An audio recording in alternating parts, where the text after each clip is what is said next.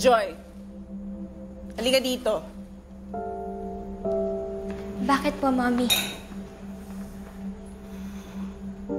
Nawawala na nga ang daddy mo. Naglalakwatsa ka pa rin. Hindi po. Ipagpe-pray ko po si Daddy kay Blue. Itigil mo na nga yung bro-bro mo na yan. Hindi ka aalis. Maglinis ka ng bahay. Pero, Mommy, malinis na po yung bahay. Naglinis po kanina si Tito Maximo.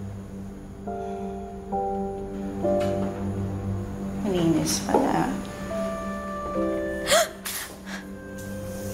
Mommy! Ayan, linisin mo yan. Sabi ng linisan mo eh!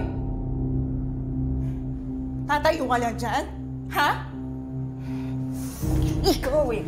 Ikaw yung may kasalanan kung bakit natuloy sa misyon yung daddy mo. Kung hindi mo pinagpilitan na hanapin ang nanay mo, hindi mawawala ang daddy mo! Mommy, masakit na Ha?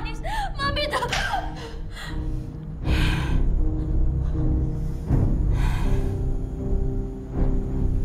Hindi talaga sa'yo sapat na bigyan kami ng sakit sa ulo. Ha? Ikaw, ikaw ang nagpahamak sa daddy mo. Hindi yan!